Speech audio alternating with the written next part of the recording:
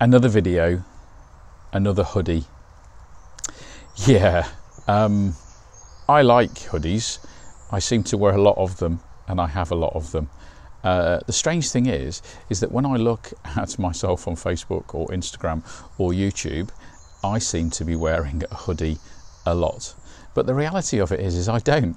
Um, so I've come to the conclusion that clearly I uh, don't make videos when I'm running a leadership program or where I'm doing some consultancy or when uh, I'm working with a coaching client. So the perception for most people is that I am just this outdoor hoodie wearing sort of bloke.